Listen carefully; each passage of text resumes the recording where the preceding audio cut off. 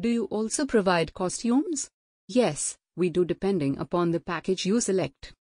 Do you also provide fashion styling?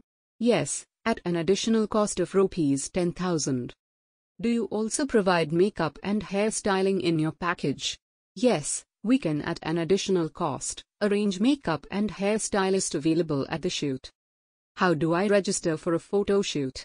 You could walk in and make an advance booking or you could make a payment online and reserve a date for the shoot. What are the recommended costumes for female portfolio? This is something which we decide when you come and visit us for the first time. Depending upon your looks and body vitals, we decide what could go on you. What are the recommended costumes for male portfolio?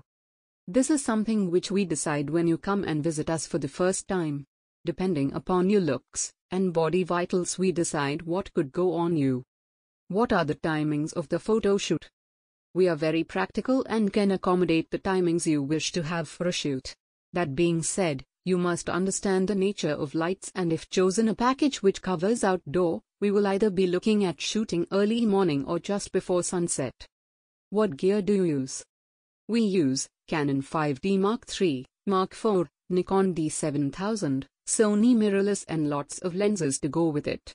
But honestly, it's not about the gear,